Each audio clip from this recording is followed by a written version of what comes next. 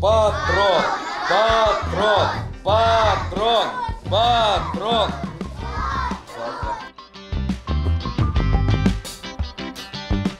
Він працює у команді, в команді своїх піротехніків чернігівських.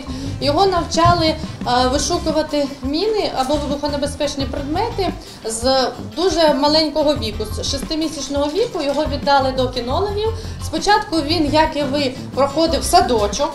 Ну, називаємо це так. Це таке спілкування, взагалі, адаптація до господарів, до команди. Потім це була школа, це вже було командні навчання. Він працював у команді. Це команда великих або маленьких собак, але я вам скажу по секрету, патрон був найменшим за зростом у своїй команді, де було 10 собак. Е, Його вони не сприймали, і його спочатку також не сприйняв його кінолог. Він каже, да не працюю з такими малими. Ми його вмовили, він, вони спробували. І патрон майже до сьогоднішнього дня, кожного дня навчається. Не можна так, от ну вивчив він щось якусь одну там е, вправу, яку його навчили, і все.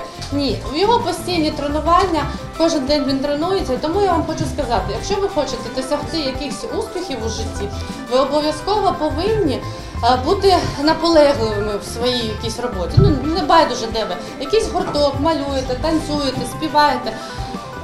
Будьте впевненими. Я дуже хочу, щоб він заряджав вас своєю впевненістю, своєю відвагою, тому що ну Джек Рассел тер'єри, якою породою є патрон, це дуже відважні пси.